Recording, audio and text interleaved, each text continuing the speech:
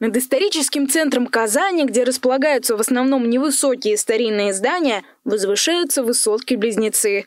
Это физический корпус и второй учебный корпус Казанского федерального университета.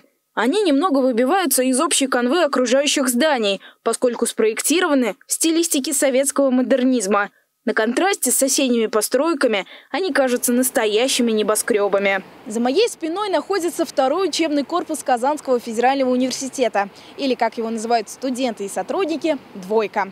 На самом деле, изначально, когда правительством только планировалось финансирование строительства новых корпусов, было несколько вариантов места их расположения – на берегу реки Казанка и здесь. В итоге и физический корпус, и его высотный близнец расположились в пределах университетского городка.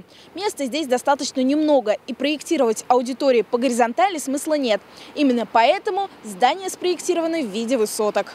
После революции а, в Казани множество исторических доминант в виде колоколен было утрачено.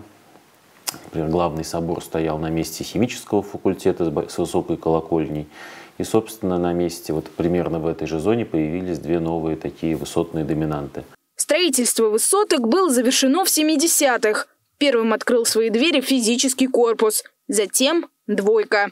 Активное участие в возведении новых корпусов принимали студенческие строительные отряды. Чтобы стиль высоток вписался в общую канву города, здания поместили немного вглубь квартала. В это время уже особо излишествами в архитектуре никто не увлекался, из-за этого они такие строгие, но при этом каждый из э, объектов имеет свои особенности. Да, на физическом факультете это такой барельеф интересный сделан при входной группе.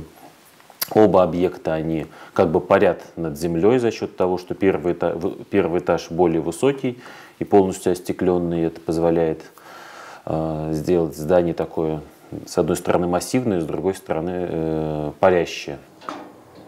Интересно, что оба здания спроектированы в виде отелей того времени. Именно поэтому в высотках по несколько лифтов. Одни перемещаются по четным этажам, другие по нечетным.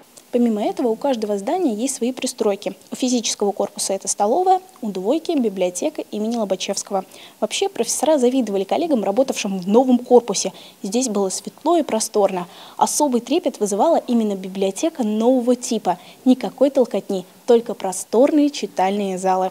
Строительство высоток-близнецов стало для города одним из важнейших событий. С момента их открытия любой турист мечтает оказаться внутри, чтобы посмотреть на город с высоты птичьего полета.